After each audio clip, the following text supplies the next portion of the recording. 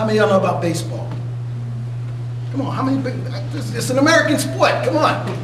Right? So there's an American League and there's a National League. And the reason why I bring that up is because that's the best way I can explain to you what this picture is here.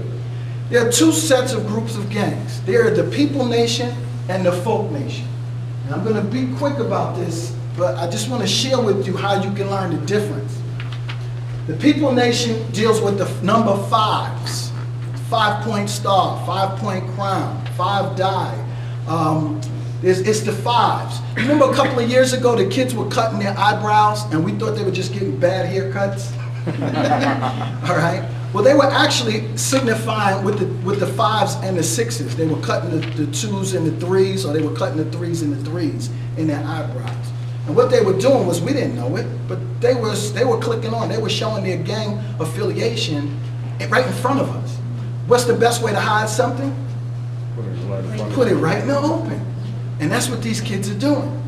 Now, the fives and the sixes are interesting. They use a lot of the symbols that we would ordinarily use, that we promote ordinarily, and they take it and they use it for their gang affiliation. Does that make sense?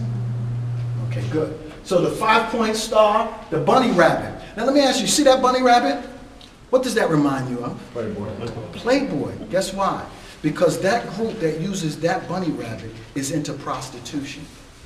So when they put that bunny rabbit in their graffiti, that group is into prostitution. Is that clear? Makes sense, don't it? Okay, let's go to the next one.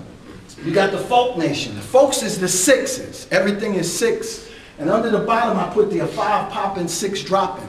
That could only be written by a people nation group. Five popping means that the five is alive and the six must die. Okay? And the six is here, if you notice, you got the horns. You see the devil's horns? Well, that worship, those are also devil worshipers and witchcraft and stuff like that. And you got a lot of the groups, what do they call it, Gothic? No.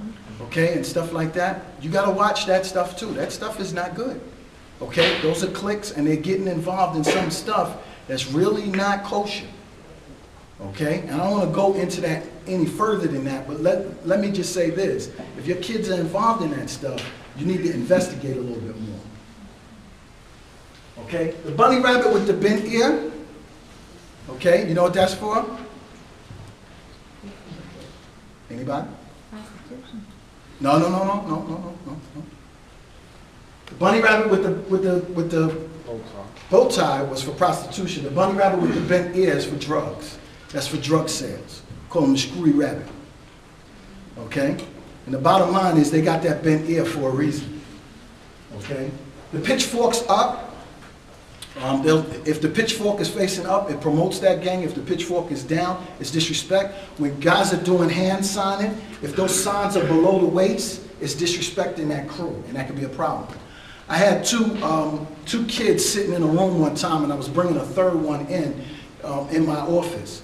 And I went to go in, and the third kid told me, I ain't going in there. Oh, no, I'm not going in there. I said, what, man, get in there. He said, man, Mr. Leonard, man, I'm not going in there, man. Well, I happened to look inside, and the one was going like this on his leg. And what he was doing was he was breaking bees. That's what they call it. And what he was saying is, if this kid steps into this arena, we're gonna break him up. And that kid knew that. So these kids do hand signs. Anybody heard of the Masons? Okay, well, the Masons is a secret organization, or used to be, and they throw signs from different areas, and they can speak one to another way across the room. Well, these gangs are doing the same thing. They're using hand signs and hand language, and they can speak way across the room. And they understand what's going on. So that's the stuff that we have to really be concerned with. Um, the Claddagh, remember the Claddagh ring, right? Most of the, the Irish people use the Claddagh ring. It has the heart and the wings. Well, those are symbols that they use, and, and they, it's uh, what they call their corazon. Corazon, what does that mean? Anybody speak Spanish? Heart. Of the heart, love of the heart. Okay, and most of the Latin kings will write um, amor de rey, which is the love of the King. And they're not talking about King Henry VIII. Okay? they're talking about famous King Tone or King Blood. All right? So when you look at writings, and I would love if, if more school teachers and more parents could confiscate the notebooks of these kids And if you could get the manifestos, you will be surprised of the stuff that you would learn just from the manifestos. And the manifestos tell everything because those, those are the codes that they have to memorize. And these kids have to learn these codes because in the street, they get what we call G-checked. And a G-check means that a guy come up to you and you go, yo, what set you rolling with, bro? I see your New York sign, man, what set you rolling with? If that kid doesn't respond appropriately, he can get beat down. Because that's not the answer. That's not the right answer that they give. And that's part of the problem. So some of our kids are dressing like the wannabe gangsters. They're getting G-checked and they're getting beat up because they're not being able to answer it in the in right detail. So one of the things that we have to learn is to teach them not to dress like gang members. And I know that's hard because there's a culture out there, right? You know, if you look on some of the TV.